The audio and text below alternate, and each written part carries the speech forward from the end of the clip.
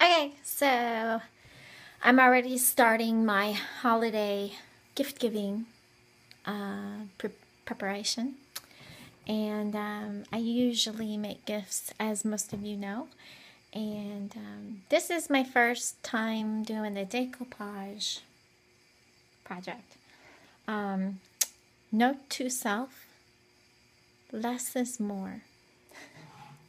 this Mod Podge you really don't need a whole lot of it. Um, the more you use, the more it wrinkles and um, crinkles.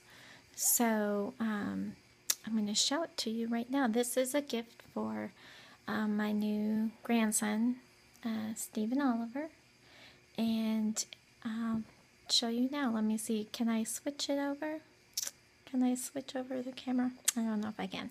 So, um, here it is. This is a um, chest.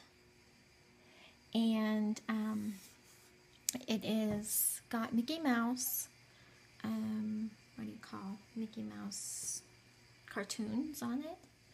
Um, it's very, very cute, very cute. First, what I did is I spray painted it black, and then, because it was just regular wood, and then um, I decoupage the rest of the outside um, and make sure you didn't glue it, glue it shut. um, and then here is the inside. Um, it's just, I'm wondering if I should spray paint the inside or not. I don't know, what do you guys think?